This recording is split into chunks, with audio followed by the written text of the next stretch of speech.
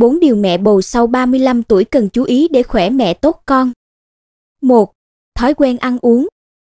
Các bà mẹ lớn tuổi dễ gặp các biến chứng khi mang thai. Vì vậy, khi mang thai bạn phải đặc biệt chú ý đến chế độ ăn uống của mình, không nên ăn những thực phẩm nhiều đường, dầu, muối. Chế độ ăn nhẹ, chủ yếu ăn thực phẩm giàu protein, ít béo, đồng thời cũng phải chú ý cân bằng dinh dưỡng và kiểm soát lượng calo nạp vào. Nếu không, thai nhi phát triển quá lớn có thể gặp khó khăn trong quá trình sinh nở. 2. Bổ sung axit folic. Đối với mẹ bầu sau 35 tuổi, việc bổ sung axit folic là rất cần thiết, có tác dụng ngăn ngừa thai nhi phát triển các bệnh về thần kinh một cách hiệu quả.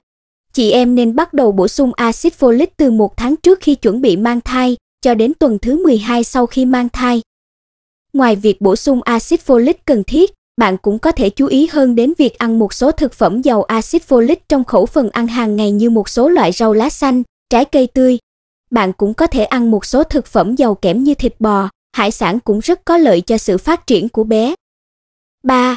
Khám thai trước khi mang thai.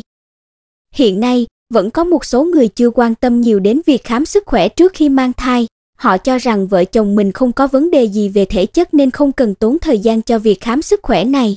Thực tế, đối với những bà mẹ lớn tuổi, việc khám sức khỏe trước khi mang thai là rất cần thiết. Đặc biệt khi khám thai, bạn nên chú ý đến các chỉ số huyết áp và đường huyết, vì nhiều bà mẹ lớn tuổi sẽ mắc các biến chứng như tăng huyết áp thai kỳ, tiểu đường thai kỳ nên cần phải chú ý và phòng ngừa trước. Mang thai khi lớn tuổi cần đặc biệt lưu ý sàng lọc hội chứng đau vào tuần thai thứ 16 đến tuần thứ 20.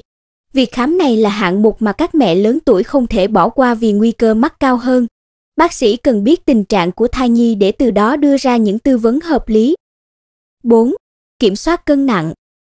Do xương của bà mẹ mang thai lớn tuổi tương đối cứng, độ đàn hồi của dây chằng và ống sinh tương đối yếu, lực co bóp của tử cung cũng nhỏ hơn nên khó sinh con, có thể xảy ra tình trạng để khó hoặc thậm chí khiến thai nhi ngạt thở.